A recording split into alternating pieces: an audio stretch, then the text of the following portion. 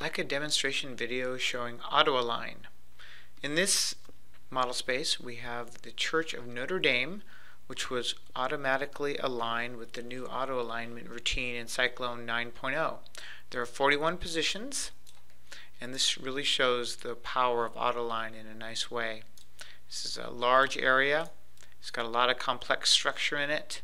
Um, let me go ahead and turn on the scan positions, and you can see that the uh, church was scanned inside and out in multiple levels and even outside.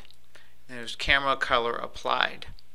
One of the things I like to do is go ahead and check some of the um, tighter places where registration errors can occur.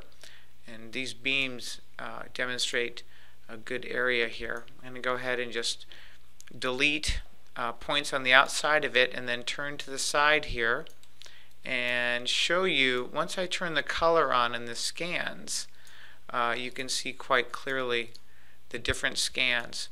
Uh, each color is representative of a different scan that was uh, contacted this one beam here. And you can see here that all of the scans really fit well together. We have purple scan, a red scan, and a yellow scan here. These all fit really nicely uh, into, a, into the registration.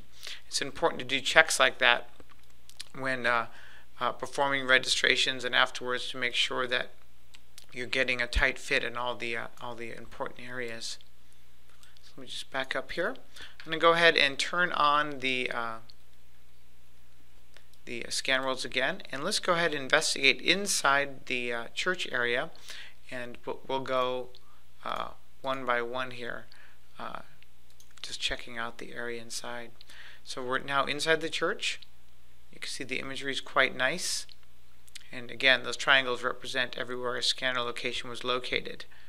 go ahead here and rotate down. You can see uh, all the de incredible detail on the floor.